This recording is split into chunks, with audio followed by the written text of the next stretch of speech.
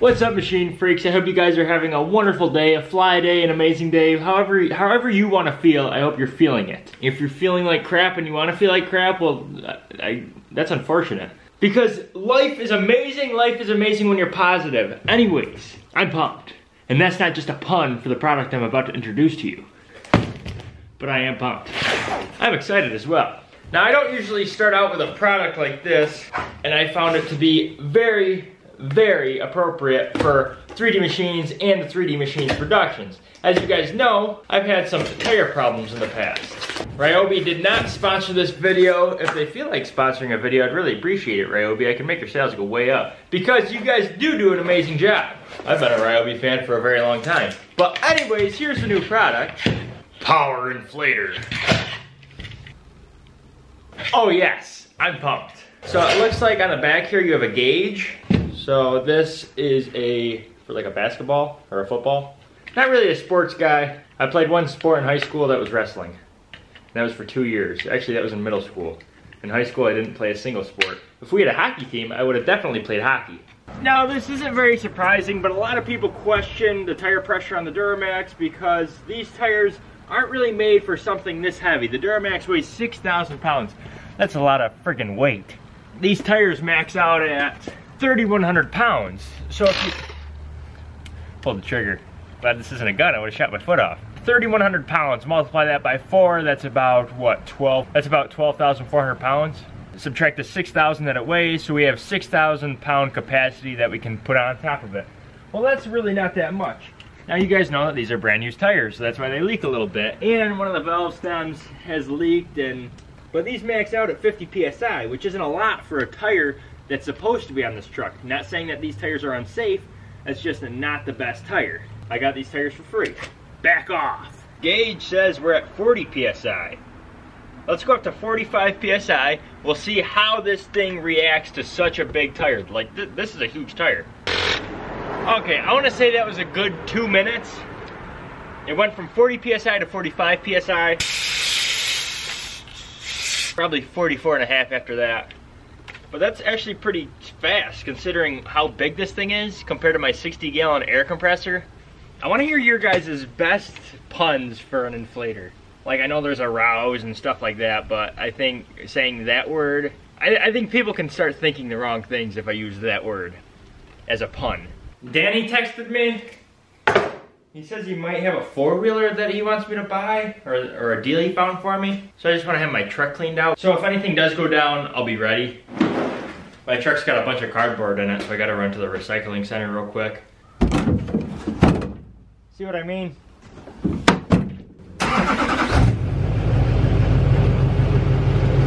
Twenty minutes later.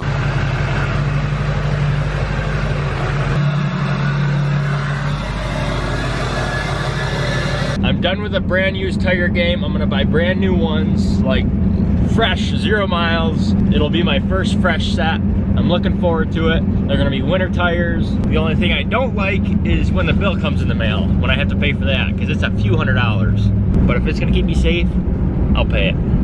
I just left the cardboard recycling center, dropped the cardboard off, she's all set. I do support recycling. If you can recycle when you can, do it. It's good for the environment. Yes, global warming has some benefits, including, you know, the warm weather, but if we can reuse, then that's amazing. And that's basically what I do on my channel. I take a heap of crap and turn it into not so much of a heap of crap. I mean, just look at the BMW.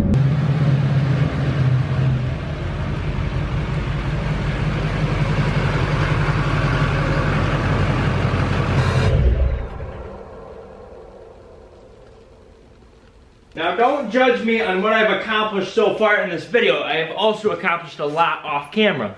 So I kind of feel a little slimy but I also got a text from this guy that says that he might be able to sell this four-wheeler to me, but he's also got another guy interested. So, while he's still making up his mind, and the other buyer's making up his mind, I'm gonna go ahead, clean up a little bit, jump in the bathtub, and get cleaned up.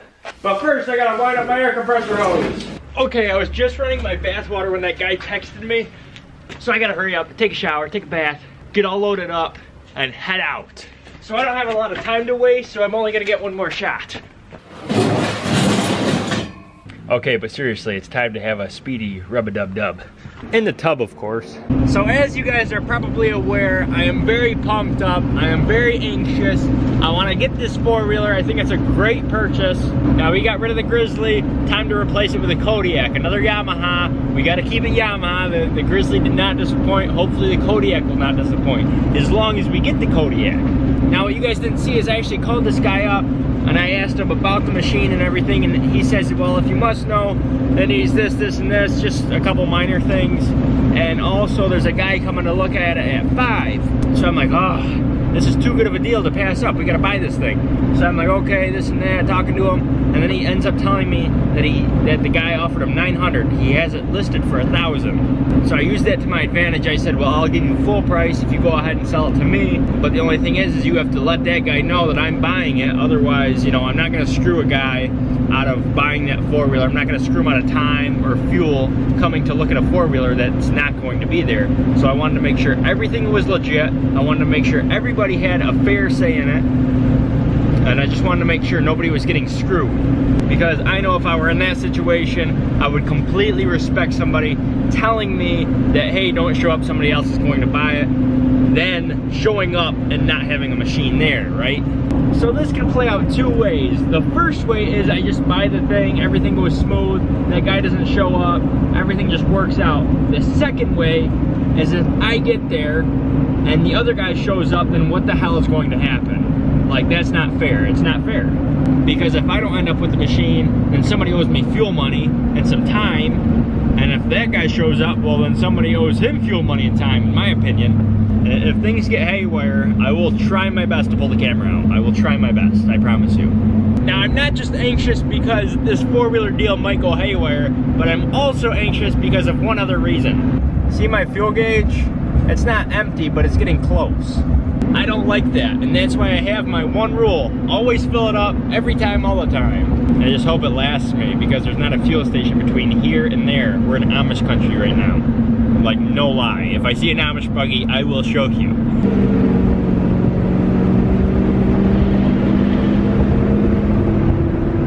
That's for all you Ford fans out there. I'm just kidding. I'm totally kidding. I just wanted to pass that guy and, and say that. If I irritated one person, as long as I didn't offend them, you know, it's just a joke. That's just the fact, man. You're either like Duramaxes, Power Strokes, or Cummins. Take your poison.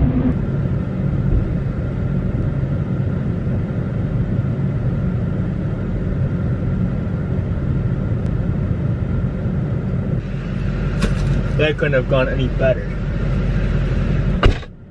She's in park. She's locked and loaded, I believe.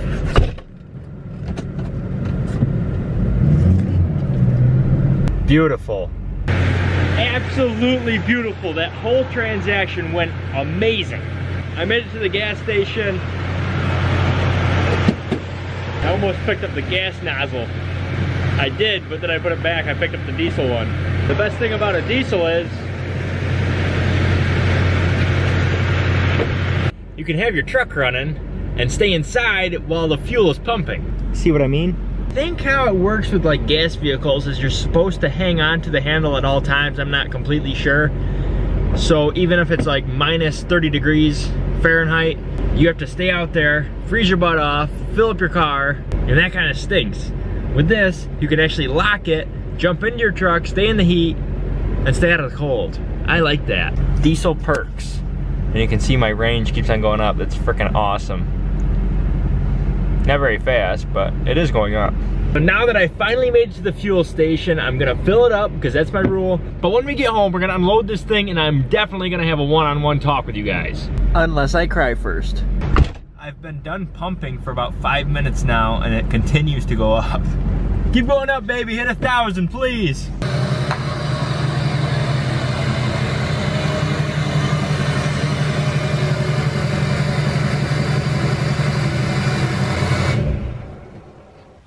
Beautiful. Absolutely beautiful. Like I said, if you guys don't like the word beautiful, then clutch. Like for what I'm about to tell you guys, it was it was just crazy how it just worked out so perfectly. Like it couldn't have gone any better. Well, the only way it really could have gone better is if I got the machine for free. But but that wouldn't really happen in in this world.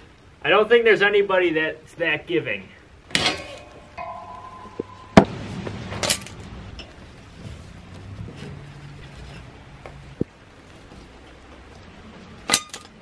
You guys, this is my last shot, and then I gotta put you away. Okay, I lied. I, I came up with something. Hopefully it starts now. Needs the key.